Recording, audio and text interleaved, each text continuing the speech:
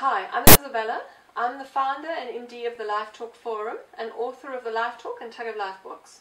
The Life Talk Forum is all about awareness building for teens, for parents, about those key issues that are out there.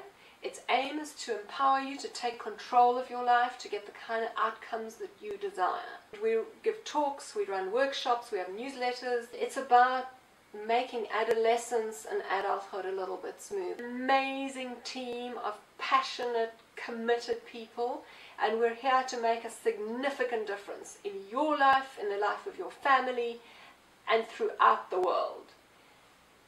Have a look at our website and join us on this journey.